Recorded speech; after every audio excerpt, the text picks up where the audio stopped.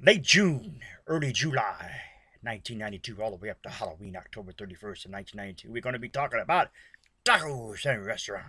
The years go by, but the memory stays. And those were the good old days. Thank you so much for joining me. Thank you so much for coming down memory lane with me. Let me take you back and tell you a story about Doco's, about the radio war. So, uh, you know, wash the dishes back in the day at Doco's. We, uh, us dishwashers back here, uh, you know, basically was just boring. You really didn't do much of anything, you know, other than wash dishes, and you really didn't have no other form of entertainment except for Mark coming back every now and again, slamming doors, getting mad, whatever he was doing, because he had a bunch of orders or whatever, and uh, waitresses would come back to smoke or whatever, so we wouldn't have anything to do. But I brought in a radio, uh, and uh, we used to listen to Rock 107, uh, WRQK out of Canton, Ohio. We used to listen to that radio station, and uh, got to the point where uh, WN, I think it was WNCX. I could be wrong on that radio station. Uh, my memory serves me wrong on the actual call letters of the actual radio station. But they used to have Howard Stern back in the day, uh, before Howard moved on to uh, uh, Sirius XM Radio, is where he is now. So this is like you know back in you know like you know 92 to uh, 97 area. So he was still uh, on regular radio.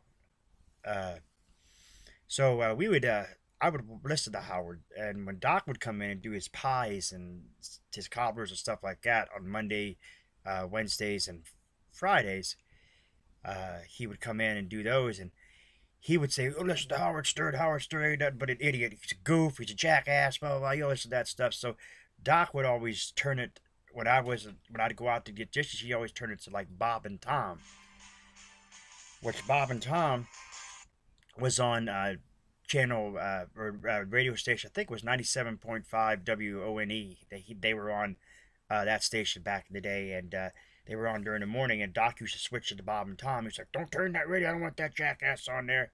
I'm like, "Doc, this is my radio." He goes, "But it's my restaurant." He goes, "I'll throw that radio right now in the dumpster." So. Of course, I had listened to Bob and Tom, which they're they're okay, but Howard Stern was absolutely funny with all the stuff that he had going on back in the day. Uh, Backside Boys, uh, uh, the funny skits and stuff that he used to do, and Daniel Carver, uh, the uh, the uh, movie reviews stuff like that. Daniel Carver the KKK movie reviews stuff like that.